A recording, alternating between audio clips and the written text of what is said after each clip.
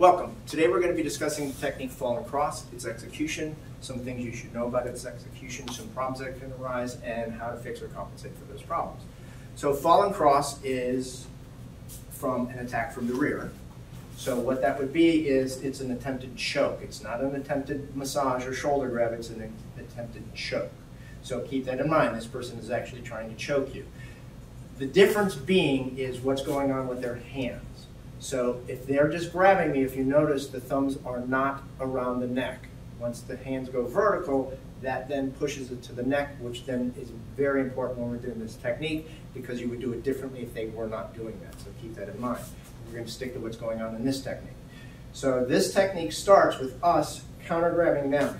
What I want to do is I want to isolate this joint on their thumb and force it to bend back. So you want to think of this as a a thumb lock or a finger lock. So you're going to need a point of pivot, which would be, in this case, the grab, as you'll see, and then we're going to be pushing the point of rotation, and that's going to be the back of your neck. So keep that in mind as we go forward. That's what's happening here. I'm not trying to pull this forward, because if I try and pull this forward, what I've done is I've exposed his elbows, which are now anchored. And as you know, elbow anchors are your friend. So you don't want to give them a friend to work with. So you don't want to pull forward here because then they can use those elbow anchors to be used against you. What you want to do is the opposite of that. You want them to unanchor their, their, their elbows. So how do you do that? Through that joint lock that I just talked through. What we want to do is we want to think push this way and forward, not just pull out away because that's going to pull out to the ends of the thumbs. So you actually want to push those thumbs into your neck as you begin to pull forward. And if you notice what I'm doing with my elbows, I'm anchoring my elbows down into my chest. I'm not bringing them off to the side like this. So what you want to do is you step, you want to anchor those elbows and pull this towards your neck, which then uses that pivot point in order to push against the joint. Okay? So as I begin to come forward, this is what's going to happen. So if you notice, he unanchored his elbows. Okay? So if you look at it from the side like you are, um, you can see what's happening to him. So now let's face you so that you can see what I'm doing.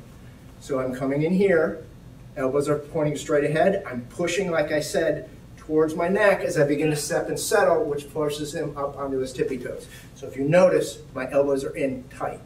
So let's go back to here again.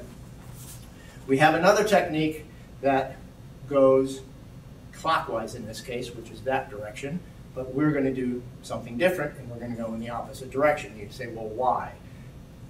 Could be environment, could be them, could be any sort of situation where you can say, I can't go that way or I don't want to go that way. There's two reasons why we do things, because we run to or we have to. In this case, we want to. We want to go in that direction. So what we want to do is once we get this lock, I'm not going to do it very hard from now on, now that you've seen it. So he's just going to react uh, slightly rather than extensively. So what I want to do is I want to step over to my left front flank in this case, but I don't want to give up my base or my uh, uh, leverage because I have, by standing up, I have leverage. Once I begin to bend over, he can then start taking advantage with it, uh, of it because if you notice what we did with the elbows, uh, if I didn't anchor my elbows and he began to take advantage of me, he's getting rid of my lever. So what we want to do is keep that lever. So what does that mean? That dictates how we should do this next maneuver. We don't want to give up our lever as we begin to spin because that's what that person's going to do. They can take advantage of that lever. So what we want to do instead is keep our back up straight as we begin to step. If you notice, what I've basically done here is thrusting salute. We're in the position where I'm ready to go, ready to do this technique. That's essentially what this technique is, except we're stepping to get to that position in a different way. Okay? So we get to here, we do the fallen cross. Okay, this is where the thing comes fallen cross. What we want to do is we want to get these as far as we can across to expose the elbows. We don't want them nice and close and try and break the forearms because that's much harder. It's much easier to get these across and get the elbows exposed because what we're going to be doing is thrusting salute. So what we're going to do is do this kick. So if you notice how I'm going to do this kick, this is traditionally called a retarded front kick which means there's a delay in time. So you can call it a delayed front kick or a retarded front kick, it doesn't matter. They both mean the same thing. but traditionally it's called a retarded front kick. So what that means is rather than just doing a kick like we do in thrusting salute, we're going to do the positioning, getting the break, and then extending the kick to get the kick. So keep that in mind. It's two motions rather than one. So it's a sophisticated motion. That's one way to think about it. Because we're going to do a break and then a kick, which gives us the two and one, which falls into the sophistication category rather than the elementary category. Okay? So we've got them over, we get the kick, or the knee, and then the kick. We then pick up the check on top and deliver the elbow. Okay? There's two ways to do this elbow. One would be straight ahead, one would be to the side. Typically, the ideal phase for this is straight ahead. Just like thrusting salute, one, two, except now we've shortened it to the elbow. If they begin to turn to the side or fight or whatever, we can go off to the side and make this a circular elbow, but keep in mind, we have to worry about our, our uh, positions of balance, okay? If I'm in a neutral bow, the best position that you can push me on is this because I don't have any stability in that direction. That's why we want to try and hit this way rather than this way because that'll destabilize me.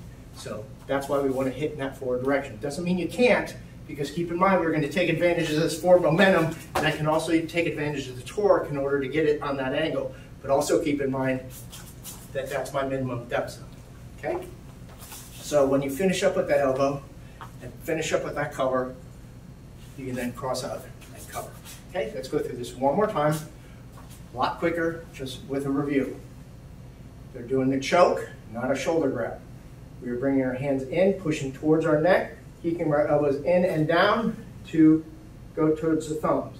We don't want to lean as we do this turn. We're going to keep up straight. We're going to make sure we expose the elbows, not the forearms. We then do our retarded front kick, making sure we get below the knee, then extend the kick, pick up the check on top, and elbow straight ahead. Thrusting salute. Cross out the cover. One more time so that you can see it slightly faster without any explanation. Up. Hope this video helps you. Thank you very much.